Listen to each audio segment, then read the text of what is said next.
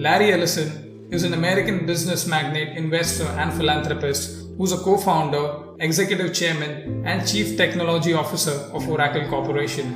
As of October 2019, he was listed by Forbes magazine as the fourth wealthiest person in the United States and sixth wealthiest in the world, with a fortune of 69.1 billion US dollars. In this video, we will see 7 books recommended by Larry Ellison. Hi, I'm Jayesh, and this is Books for Hustlers. Every motherfucking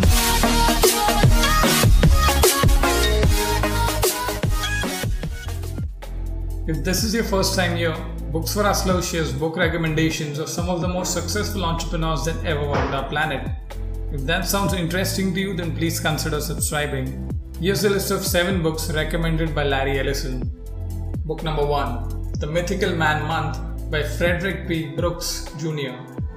Few books on software project management have been as influential and timeless as The Mythical Man Month. With a blend of software engineering facts and thought provoking opinions, Fred Brooks offers insight for anyone managing complex projects. Book number 2 A Peace to End All Peace by David Fromkin. A Peace to End All Peace is about the dissolution of the centuries old Ottoman Empire at the close of World War I and the consequences of that breakup for the Western powers, the Soviet Unions, to a lesser extent, the people of the Middle East themselves. Book number 3 Napoleon by Vincent Cronin. This is the biography of Napoleon which attempts to explain the history of this great man. In personal term, Larry Ellison's view about this book is as follows. It's interesting to read about him for a couple of reasons to see what one man of modest birth can do with his life and to see how history can distort the truth entirely. Book number 4 The Fountainhead by Ayn Rand. The Fountainhead champions the cause of individualism through the story of a gifted young architect who defies the tyranny of conventional public opinion. The struggle for personal integrity in a world that values conformity above creativity is powerfully illustrated through three characters in this book.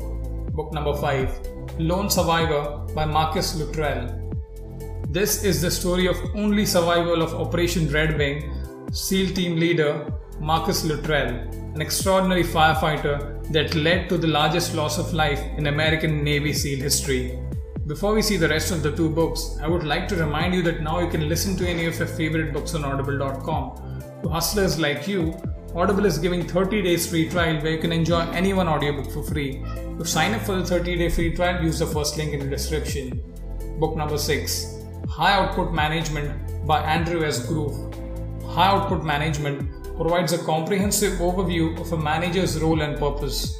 The book focuses around a central thesis that a manager's objective is to increase the output of the work of those below and around him. Book number 7 The Jordan Rules by Sam Smith.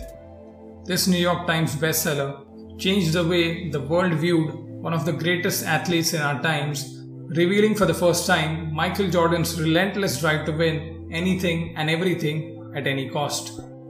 If you like this video, then please give it a like and feel free to share it with your friends. If you're new here, then please consider subscribing and do check out other videos. So that's it for today guys. Thank you for watching. See you in the next video.